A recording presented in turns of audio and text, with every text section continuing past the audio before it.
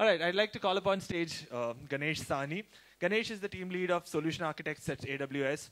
Uh, he has seven years in experience in AWS and has worked with customers on their overall journey. He has received, uh, he has uh, 13 uh, awards from uh, Amazon, and he has worked as a full stack developer at National Informatics Center, Geeks for Geeks, RBIT Technologies, and is also a competitive programming author at Hacker Earth. He's also told me that he loves going clubbing and dancing. So if you can find him during the break, please give him great recommendations in Kochi. With a loud round of applause, can we have on the stage Ganesh, please?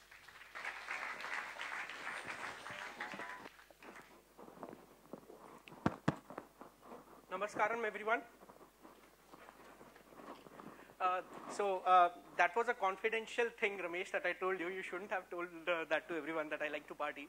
My throat is a little messed up, so it's not because I partied hard yesterday. It's it's because uh, some water issues, anyways. So hi everyone, uh, myself Ganesh, as uh, Ramesh introduced. Community Day Kochi has been something that's that's very close to my heart. And when uh, Dijesh Anna, where are you? Dijesh, Okay. So when Dijesh uh, uh, actually told me that uh, they are planning for Community Day Kochi, I was like, I really want to meet this vibrant crowd. And I may not be as good looking as Sarika here, but I can assure you that during this session, for the next 20, 25 minutes, you're going to learn something, at least something from this session. This session will have something for every one of you. Be, you, you can be an expert on generative AI, you can be a noob on generative AI, you can be a beginner on generative AI. If you concentrate for the first five or 10 minutes, believe you me, you will be at par with a lot of folks who, who, who perceive themselves as a generative AI expert. First of all, am I audible at the back? Everyone? There? Okay, perfect, cool. Uh, let's, let's, let's get started. So for, for the next uh, 25 minutes, we are going to discuss about generative AI and how you can actually use AWS as a cl cloud provider for your application and to integrate generative AI to the applications. But before that, let's, let's go cloud agnostic. Let's, let's not discuss about any cloud provider, not even AWS for that matter. Let's first discuss little basics about generative AI. And, and it's okay if you don't know about AI. With a raise of hand, how many of us are aware with the basics of AI, machine learning, generative AI? Don't worry, I'm not going to ask you questions, so you can be honest. Okay, cool. I'm assuming that the rest of, okay, who, are, who all are not aware of the basics of AI and ML and generative AI? Okay, so the rest of the folks who didn't raise the hand, I should I assume that all of us are introvert, including me, by the way. Cool. Uh, so moving on, uh, let's get started with generative AI. What does generative AI mean? It's, it's basically a technology through which you can create new content, Content can be image, content can be, uh, you know, videos or content can be audio, whatever you want. That kind of a content, if you want to generate, that's, that's something that generative AI can actually help you across. But before we delve into generative AI, let's try to understand what are these terminologies. I mean, you will see a lot of these kind of words coming across in sessions, in upcoming sessions, in general also. And when I, I actually came into this AI, ML, generative AI kind of concept, this was very confusing for me. So I've summed it down to very, very basic, very, uh, you know, very easy uh, manner so that you understand the difference between all these four terms. So let's get started with the artificial intelligence. Don't look at the slide. You can look at me. I am I'm still good looking. Uh, you can look at me. I'm going to explain that in a very basic manner. When I say artificial intelligence, it means human intelligence but artificial. What, me, what it means is, is ba it's basically an umbrella of multiple technologies, technologies like machine learning, deep learning, generative AI. It's an umbrella of these technologies which can help you mimic a human intelligence. And a human intelligence can be as basic as an if-else statement for the folks who know programming, right? Or it can be as basic, basic as, should I allow a person inside the door or not? That's as basic of an intelligence as, as it can be. And it can be as complex as, you know, you writing a, a statement like create a image of, uh, of multiple uh, horses running on a sea, and it generates an image. It can be as complex as that. So the entire umbrella of all these things is called as artificial intelligence. Within artificial intelligence, we have, a new, we have another concept which is called as machine learning.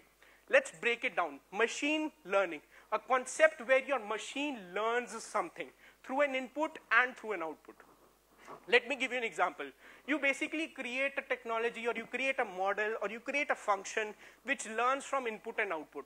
And you pass even numbers and odd numbers. Whenever there is an even number, you say the output is true. Whenever you say the, the, the number is an odd number, you say, uh, you, you, you say that the output is false.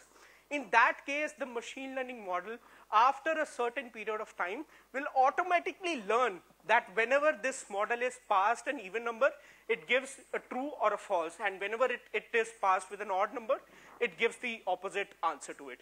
That's called as machine learning. It can be very simple, it can be very complex. That's machine learning. So with a raise of hand, how many of you believe that machine learning is an AI technology? Okay, how many of you don't believe that machine learning is a part of AI, artificial intelligence? Okay, so uh, as I said earlier, whatever we are discussing in these three things is actually within the artificial intelligence umbrella. So whatever I'm discussing, machine learning, deep learning, generative AI, all of this is inherently called as artificial intelligence. When a machine learning model learns that if the input is even, I should give true. Whenever the input is odd, I should give false. That's automatically a human intelligence, right? And when the machine is trying to mimic a human intelligence, it's called as AI. So whenever a person tells you that, hey, this is a machine learning model, you can, you can automatically assume that it is also a part of artificial intelligence. Now let's move on to the next part, which is called as deep learning. When I say deep, it means deep, right? Multiple layers. Like, like sea has a lot of depth, right? Similar to that, when you have multiple layers of functions and you pass an input to that, uh, you know, layers of functions and, and you create an output, that is called as deep learning. It is similar to machine learning, but it has multiple layers, multiple neural networks. Don't worry if you're not aware of neural networks. Just consider it like a function. It can be a function of, uh, you know, y is equal to mx plus c if we are from the math background, right? Any such sort of a function is basically a neural network. So whenever you are passing an input through multiple functions or multiple neural networks, multiple layers of these kind of functions, that's called as deep learning. Again, deep learning is going to be a part of machine learning. Both machine learning and deep learning are also an AI technology. As simple as that. Cool. Let's move on to the generative AI piece. When I say generative AI, it's basically very large models very large models called as foundational models, which we'll discuss in the later on slides, but very large models taking an input and giving you an output. That's, that's what a, a generative AI can actually do for you. And input, input can be a query, input can be an image based on you know, whatever you're generating. And we'll also discuss about foundational models where we'll in-depth discuss about what kind of foundational models are available out there. Okay, before we move further, anyone here who still has confusion in terms of difference between artificial intelligence, machine learning, deep learning, generative AI. I'm going to ask questions. So if you, if you still have doubts, you should just, just do a little bit of raise and I'll not point you. Okay, cool. I'm assuming everyone knows it now. Now let's try to understand the difference between a traditional ML model and a foundational model. These models are not the actors and actresses that you see. These models are basically techniques or technologies through which you can actually help the machine learning or the deep learning or generative AI through the stuff. From this screen, right, uh, you see traditional ML models to the left of your side and to the right of your side you have foundational model, right? What is the one difference that you see in both these images? Anyone wants to try? I'll give you my, my okay, fine. I wanted to gift you something, but no worries. Yes? Perfect. As the individual rightly mentioned, on the left-hand side screen, you see labeled data. On the right-hand uh, figure, you see unlabeled data.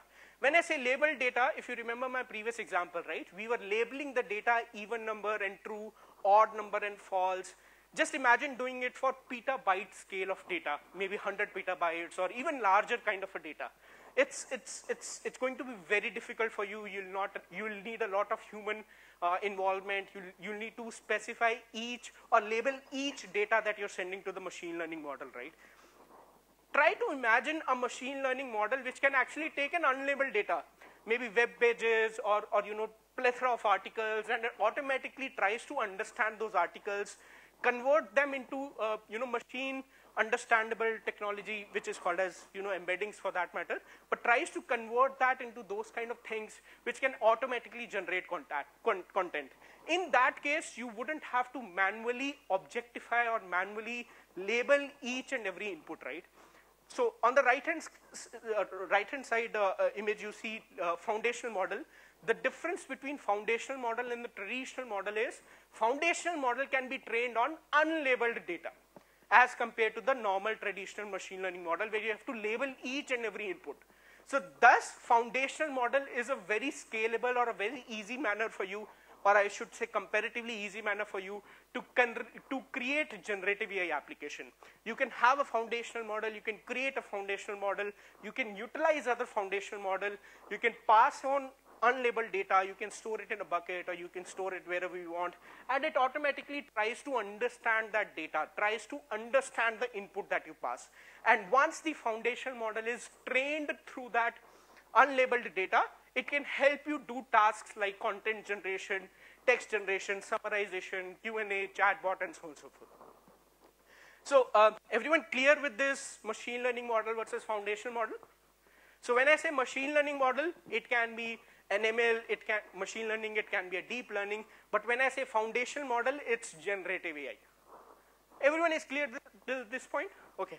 One difference we missed. What is the other difference that you see in the screen? Anyone wants to try? Yes. Yeah, partially, uh, partially right, but just to clarify, on the left-hand side image, if you see, there is a different machine learning model for individual tasks. But if you see on the right-hand side, there is one foundation model which can actually do multiple tasks. That's another benefit for you when it comes to foundation model. You can use the same foundation model to do multiple tasks as compared to a traditional ML model. A traditional ML model will give you the output based on, for example, we discussed about even odd numbers, right? The output there will be just classification of true and false or classification of even and odd numbers. Whereas in foundation model, you can do 10 tasks or you can do multiple tasks through one single foundational model itself. Okay, let's move ahead. Cool.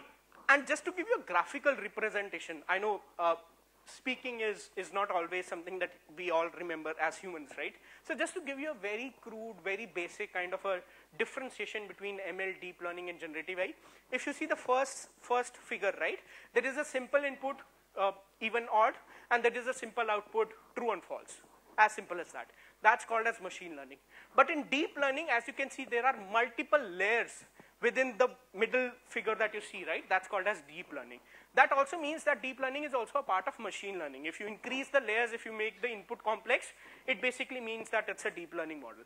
But when it comes to foundational model, it's even more complex input, it's even more complex output, and there are even more layers or even more neural networks, basically transformers for the folks who are from the AIML background, but even more uh, complexity integrated into the foundation model itself. That's, that's called as foundation model.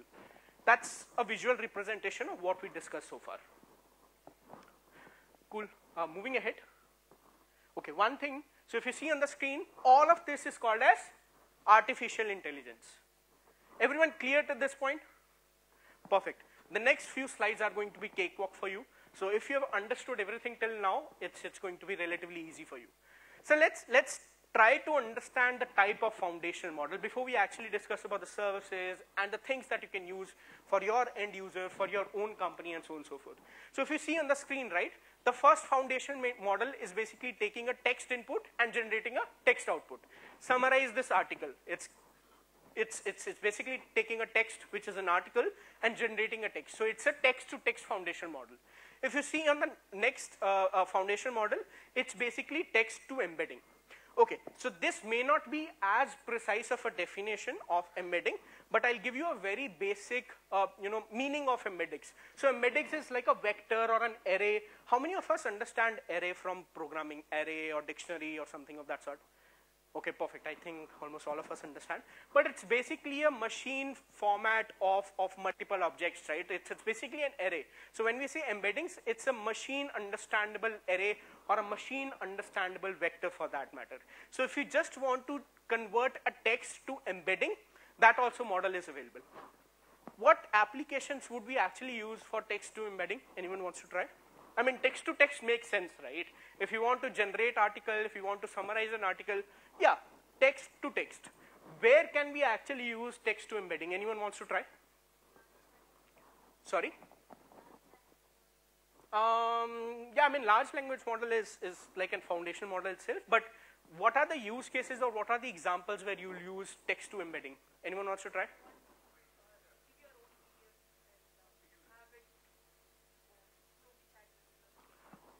Can be, uh, but let me give you a, a very basic example for that matter, right? Search. Amazon is doing search, right? Or we all do searches, right? When we do searches, uh, basically a seller is, is putting their product on the Amazon portal or any e-commerce portal, right? And just imagine if you have billions of products, right? All these billions of products, their you know, in, integrate details and so on and so forth. That is a text input that we are sending across to a particular model, right? And if we convert that text to embeddings, next time a person is coming or next time is a person is searching something or we want to recommend something to a person, we, the machine learning model can just look at the embeddings that were converted from the text. The text is something that human is giving to, to, to e-commerce portal or Amazon for that matter, right? For example, I have this mic, for, uh, I have this clicker for that matter, right? I submit in Amazon that, hey, this is a clicker, and I give an article of description, this clicker is the best in the world, uh, you know, world's best technology, and, and some, you know, uh, visual words for that matter, right? And there is another user which says, hey, this is a clicker, it'll help you click both are the same definitions, right? But then again, a text to embedding model will actually help you convert that text to embeddings, basically classifying both the clickers in one category or both the clickers in one vector for that matter, right? That's called as text to embedding. Once you have all those embeddings, you can easily perform things like sort or search or, or recommendation for that matter, personalization for that matter. That's called as text to embedding for that matter. Again, you can use, as, as ma'am was really, you know, uh, correctly mentioning, you can use text to embedding and then embedding to text. That's also very well possible. Every foundational model will have input to embedding, embedding to, uh, you know, output. That's, that's how a foundational model is built. But, you know, you can do that as well. The, the next model is text to image. You, you give a text, a photo of astronaut riding a horse on Mars. Very well possible, right? And by the way, you can actually go to Amazon services, and, and I'll, I'll show you the service as well, where you can test it out, try it out. There is a playground. You can just type on your query and it will generate output. So there is a text to image. You can see text is being passed and image is being generated. Then we also have image to image. For example, if I give an image and I tell the, the foundation model, hey, unblur this image. We have a lot of startups online, right? You can go to uh, any search engine and you can type, hey, you know, unblur my image or optimize my image or remove this object from my image. All of that is something that relates with image to image foundation model itself. Then we have multimodal where we pass in a video, we pass in an audio, we pass in a text, and we try to generate multiple stuff or a single stuff like a video, audio, and so on and so forth. For example, I'm passing a video and I'm telling them, hey, optimize this video or remove this particular person. He's not that good looking or she's not that good looking. And I try to remove them from a particular video. That's called as multimodal for that matter. Cool that's more on the basics of generative AI, foundation model, machine learning, deep learning, AI, so on and so forth, right? Now let's try to understand what AWS, a sponsor for this, this particular event, has in terms of offering you or your company for your end clients. What does AWS provide you or why should you actually consider AWS for your generative AI applications, for your generative AI needs for that matter? Let's get started, right? So first of all, um, machine learning innovation is at Amazon's DNA. We have been in, into this machine learning thing from a long time, I would say longest when it compares to a lot of uh, the other cloud providers for that matter. But from a long time, we have been into the, into the uh, you know, you can say market when it comes to machine learning, right? We have multiple products that you can, within a minute, sell on Amazon.com that uses machine learning model. Our warehouses use machine learning. There are multiple packages that are being packed automatically. How many of us have used Alexa? Okay, fine, perfect. I was expecting few more hands, but uh, no worries. So uh, Alexa is also a type of machine learning or type of AI, right? Whenever we talk about human intelligence, it's called as artificial intelligence, right? Then, uh, you know, there are multiple walkout technologies on airport that are actually using Amazon's machine learning for that matter. Uh, you know, you just go to the airport, it scans you automatically, it, it scans you from, from Aadhaar card or whatever it is for that matter, and it gives out the results, it authenticates you or authorizes you to actually go inside. Those kind of things also use machine learning for that matter. Okay, and this is the reason more than 100,000 of customers are actually using AWS for machine learning for that matter, right? And all these case studies are something that are available online for you. You can read them. If you want a personalized case study, you can also connect with me offline. Would be happy to have the chat with you. Couple of uh, value proposition things when it comes to AWS, right? The first thing is experience. More than 20 years of experience when it comes to AWS and Amazon of AI ML that we can actually pass on to you as, an, as, as a benefit to you as a customer, right? More than 100,000 of customers, uh, you know, we have learned through the needs, we have learned through the requirements, what our customers actually need. We have created services, we have created purpose-built offerings for you that you can actually use. Second thing is flexibility, right? I discussed about foundational model, right? I'm sure there'll be multiple customers who will be there from fintech background, multiple customers from healthcare background, multiple customers from gaming background, right?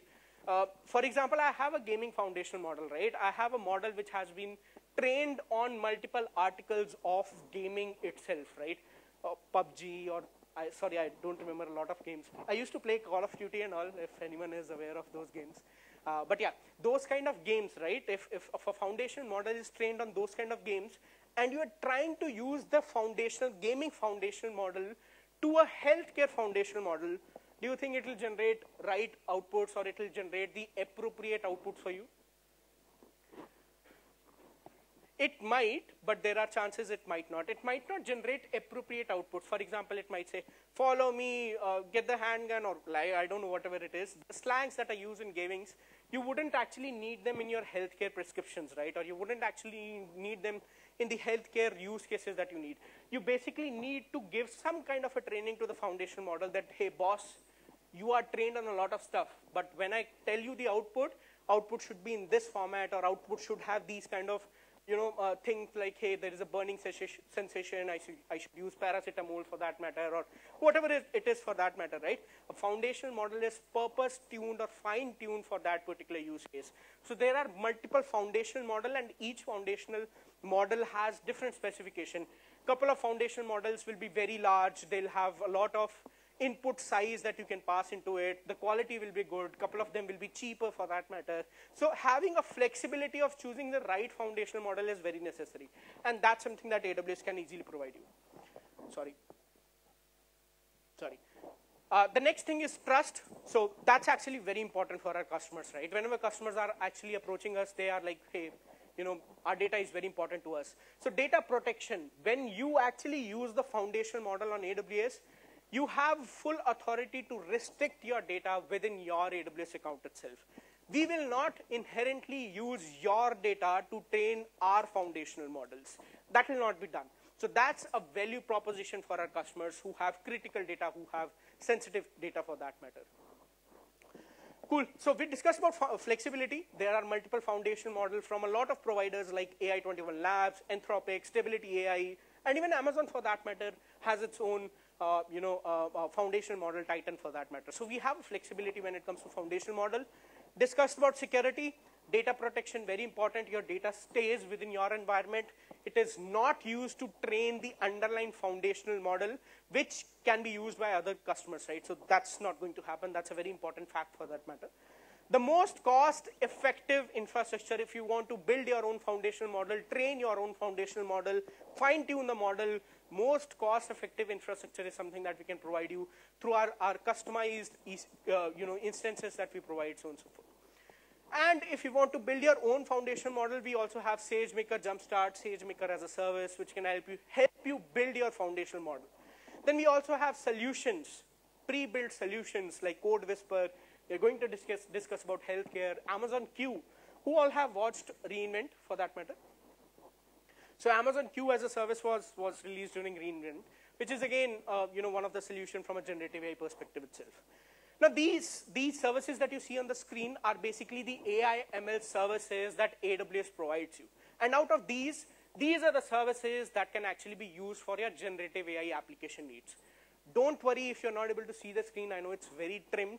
I just wanted to boast that, hey, there are a lot of services available, but we'll discuss one-on-one -on, -one on each of these services, right? Starting with SageMaker Jumpstart, right? If you want to have your own machine learning model, customize it, fine tune it and, and you know, as a data scientist, you want to dig in deep from a machine learning model perspective, foundational model perspective. You want to use the pre-trained models or you want to have pre-built scripts, pre-built trainings, UI, API, all of that is something that's available in SageMaker Jumpstart itself, in the SageMaker service itself. So if you're, an, if you're an expert, even if you're not, and if you want to have those kind of customization or, or have that kind of a deep uh, you know, uh, uh, control over your models, that's where you can actually use foundation model. So you can browse through multiple models, you can experiment, you can customize, and you can deploy through SageMaker itself. Then there are, a, there are various publicly available foundation models that are available in SageMaker Jumpstart. All of this is available online. So don't worry if you can't see the screen. AI21 Labs, Meta AI, Cohere, so on and so forth. All of these models are available. Coming to the next service, Bedrock, right? For the folks who just want to use it for their application, they don't want to have so much customization, they don't want to have all those integrate details, right? Just go to Bedrock, use the foundation model, use the API of those foundational model and integrate the application very easily. That's where Bedrock comes into the picture. If you want customization, if you want to really have all that kind of control and want to do a lot of stuff, SageMaker is your thing to go. If you just want to have an easy way of using a foundational model, Bedrock is your way to go. So multiple foundational model available, all the things that we discussed earlier, data protection, security, so on and so forth, maybe after the session. All, all those kind of things are actually available through Bedrock itself. I've already been given a sign from the organizers that I have to wrap up soon, but don't worry, uh, we, we will cover all the details in the session itself. So multiple foundation award, uh, foundational models available in Bedrock as well. All of this is something that is available in Amazon, in Bedrock as a service itself. Cool, so foundation model can't do everything, right? Now, if you want an easier manner, we also have agents for Bedrock. Rather than you building all the APIs or you doing all the stuff, you can actually use agents for Bedrock to enable or, or, or orchestrate multiple tasks. Take data from your company, do this task or, or give the customization or, or you know, give this as an output or do this task, uh, you know, build CloudWatch metrics or whatever it is for that matter.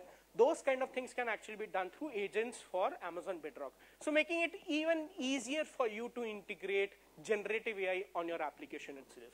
That's called as agent or that's, that's something that agents for Amazon Bedrock uh, as a service will help you. Then there are multiple customers who are already using Amazon Bedrock and multiple more customers which I have not referenced here but are available online. All of them have started or all of them are actually uh, you know, very closely using Amazon Bedrock and SageMaker for that matter to, to, to, to, ha to have generative AI in their applications itself. Your data is differentiator, right? Now, let's assume if you want to keep uh, your data in a private and secure manner, you can either use SageMaker, you can also use Bedrock to fine tune your model all of that is something that inherently is available within Amazon itself. So your data is your data, none of my data. Sorry for the very bad pun. Uh, but yeah, uh, uh, it, from a security standpoint, that's, that's a value proposition for you. Then we also have another integration, uh, uh, generative, uh, generative BI capabilities into Amazon QuickSight itself. So just to give you an example, right? Amazon QuickSight is basically a BI tool. It can create charts, it can create graphs, it can you know, do a lot of stuff on plethora of your data, right? It can be Excel data, it can be S3 data, it can be multiple files for that matter. Now you also have generative BI capabilities in Amazon QuickSight. You can just write a text query that, hey, this is an Excel, it has multiple products. Give me the analysis of, you know, which product I should be selling to the customer based on the, you know, previous data. And that generative BI capability will actually help you give the answer. So now you don't have to actually read through the Excels or read through the graphs.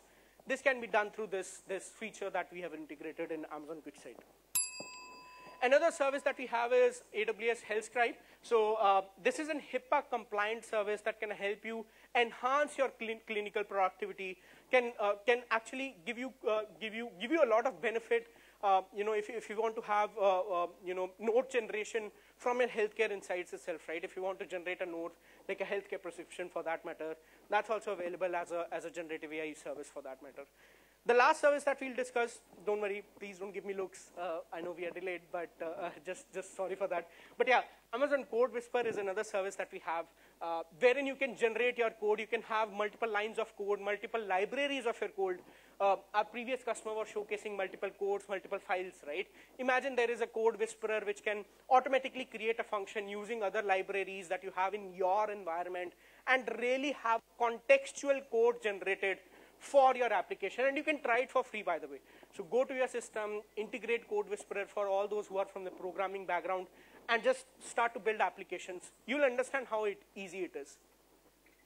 And last but not the least, global infrastructure, right? So we have, we have Trainium and we have Inferentia too. So all those people who are from machine learning background, data scientists, they can actually use this, these particular EC2 instances or instances to perform the machine learning tasks that they want to do. Create your own foundational model just to go berserk into whatever you want and have a very cost optimized and performance efficient infrastructure for that matter. That's going to be the last section of my slide. I know everyone is looking at me uh, saying that, hey, this is already delayed to a manner, but don't worry. If you have any questions, sorry, I couldn't take your question, but if you have any questions, I'll be available throughout the day and we can have a chat and we can, uh, you know, whatever help you need, I'll be there for you. So thank you, everyone. Thanks for listening to me, and I'll, I'll pass it on to this.